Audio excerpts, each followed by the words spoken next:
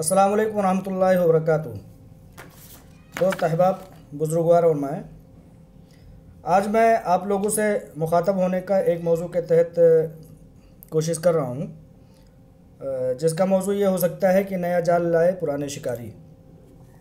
अभी आपने देखा होगा कि हमारे पुराने वकील साहब ने लाइव आ करके कुछ लेपा पोती करने की कोशिश की है। खैर वकील साहब, मैं आपसे और तमाम भाइयों से कहना चाहता हूँ कि हमारे यहाँ मज़हब इस्लाम में ये बात बहुत मशहूर है कि एक सुराख से, एक जानवर के सुराख से मोमिन आदमी कभी दो बार नहीं डसा जाता है। लिहाजा ये भी मशहूर है कि अगर कोई शर्मिंदा है, अगर कोई नादिम है अपनी गलत कामों पर तो ऐसा भी नहीं है कि उसको माफ़ ना किया जाए। आपा डॉक्टर नोहरा शेख साहबा के साथ आप थे बाद में आप बागी हो गए, दुश्मनों के हाथों से खेलने लगे। बाद में आपको शर्मिंदगी हुई।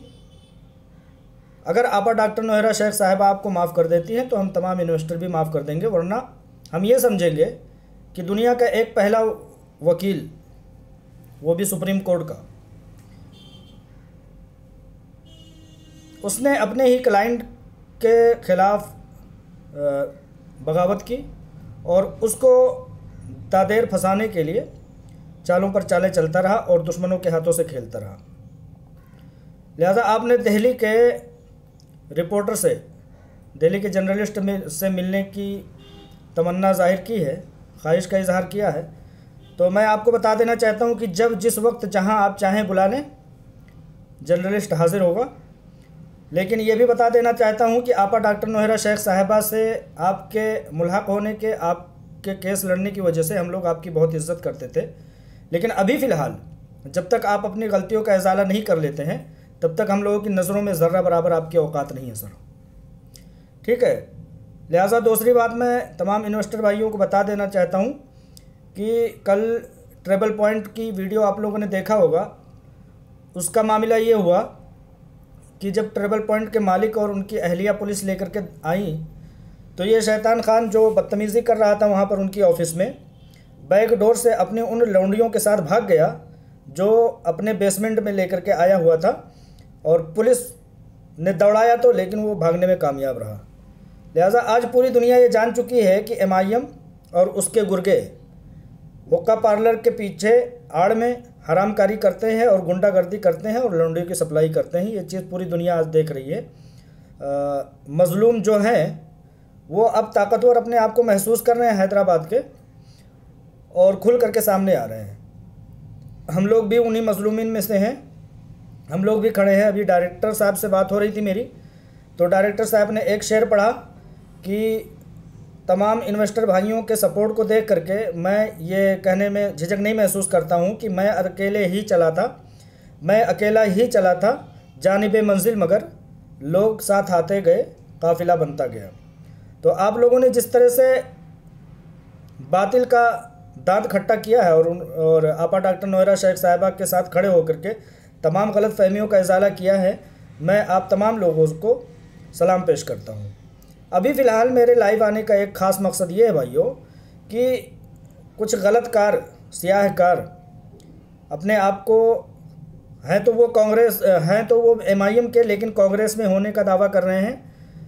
तो वो संजय निरूपम जी, जो president of Mumbai Congress committee के सदर हैं प्रेसिडेंट हैं, उनसे मुलाकात करके आपा डॉक्टर नोहरा शेख साहिबा के ख़िलाफ़ जहर अफशानी करने की कोशिश करते हैं। तो मैं इस वीडियो के साथ, इस वीडियो के ज़रिए संजय निरूपम जी और तमाम कांग्रेस कमेटी के लोगों से ये बता देना चाहता हूँ।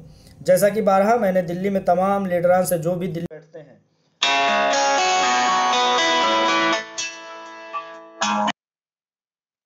ख़त के ज़रिया जो भी लीडर बैठते हैं दिल्ली में, उनको ख़त के ज़रिया और एसएमएस के ज़रिए और जिस ईमेल के ज़रिए, तमाम अप्रोचेस के ज़रिए मैंने उनको बताने की कोशिश की है कि आपा डॉक्टर नोहरा शेख साहिबा के साथ जुल्म हुआ है, उनको एम आई वालों ने फंसाया है, डेर करके और बेसहारा अपने आप को महसूस करके।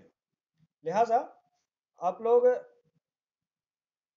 ऐसा करें कि संजय निरूपम जी का मैं नंबर देता हूँ अभी तीन बजे से उन सियाहकारों की संजय निरूपम जी से मुलाकात है।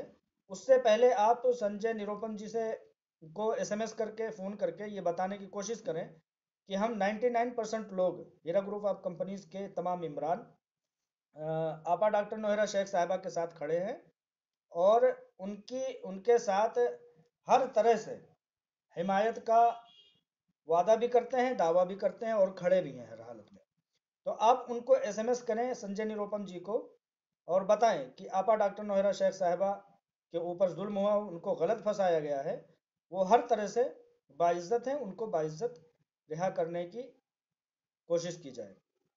तो लिहाजा संजय निरोपम जी से मैं बता देना चाहता हूँ कि आपा डॉक्टर नोहरा शेख साहिबा को उन लोगों ने जो मुल्क को हमेशा तकसीम करने की कोशिश करते हैं और वो शख्स जो मिलने के लिए आपसे आ रहा है, वो मुंबई में सबसे बड़ा एमआईएम का गुर्गा है।